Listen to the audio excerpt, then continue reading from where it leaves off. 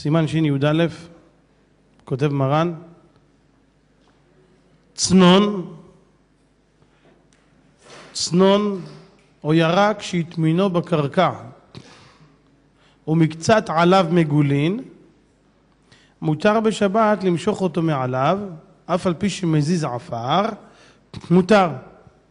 הרי העפר הוא מוקצה, וכשאני מושך את הצנון העפר זז. לא מדברים פה חס ושלום שהוא שם את זה בשביל להשריש. אם הוא שם את זה להשריש, ודאי שזה אסור. אבל אם הוא שם את זה כדי לשמור אותו בקרקע, בזמנם לא היה להם מקררים, היו שומרים אותו בקרקע. הוא מושך אותו מהעלים, כשהוא מושך העפר זז. איך מותר להזיז עפר בשבת? הרי העפר מוקצה.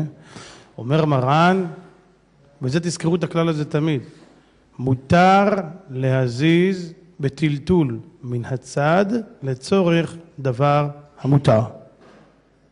עוד מעט אני אסביר את זה יותר. אחר כך מרן כותב, מיטה שעשו אותה מקש, והקש הזה לא יוחד למאכל בהמה, אלא הוא סתם קש שהוא מוקצה. אומר מרן, אדם רוצה עכשיו להפוך את זה למיטה, הוא רוצה לשבת וליישר את, הקר... את הקש עם גופו. ביד אסור, זה מוקצה. טלטול בגופו מותר אפילו לצורך דבר האסור. תזכרו טוב. טלטול מן הצד מותר אפילו לצורך דבר, מותר, מותר רק לצורך דבר המותר ולא לצורך דבר האסור. טלטול בגופו מותר, זה נקרא טלטול בשינוי, בגופו זה בשינוי.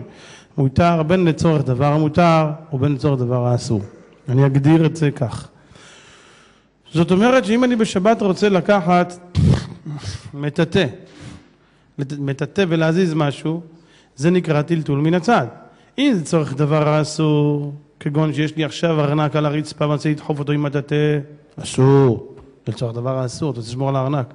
אם רוצה לבעוט אותו עם הרגל, מותר. למה? זה טלטול בגופו שמותר אפילו לצורך דבר האסור. לכן נזכור, לא כל דבר בשבת מותר להזיז עם מטאטא או עם מגב או עם כף, כמו שהמשנה ברורה כותב, שיש אנשים שותים. כמה סמיות עיניים יש בזה, זה לשון של משנה ברורה. אומר, מה הם עושים? עושים מסחר בשבת, והוא שם כפפות, ושמים לו את הכסף על הכפפות. הוא אומר, הוא לא נוגע בכסף. אומר, א', איזה קשקוש זה. זה נקרא טלטול, הוא נוגע, מה צריך לנגוע בכסף חשוב קשים, אם בכסף אסור לגעת עם היד, אבל אם זה עם כפפה מותר, ודאי שזה אסור, זה א', ב', מלבד האיסור של מסחר בשבת, ודאי שלא שייך בכלל.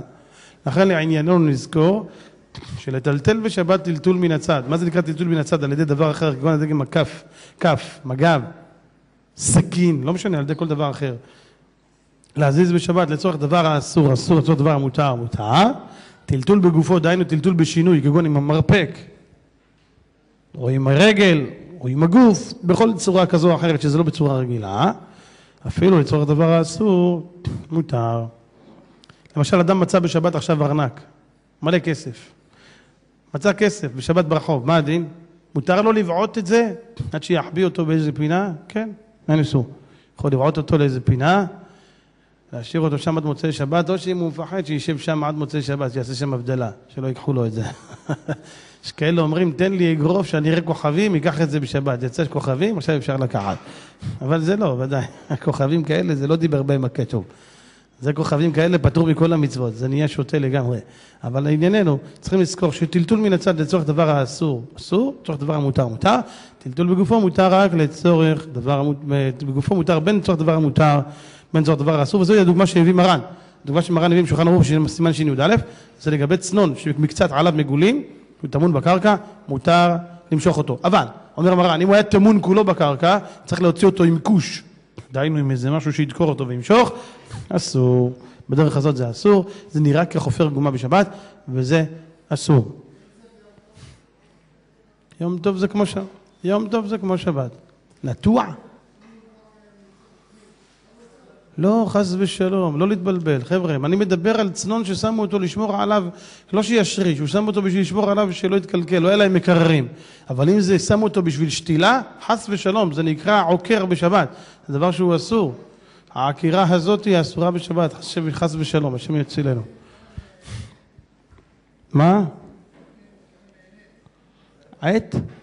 עת חפירה? חס ושלום, אסור לחפור בשבת ולא ביום טוב.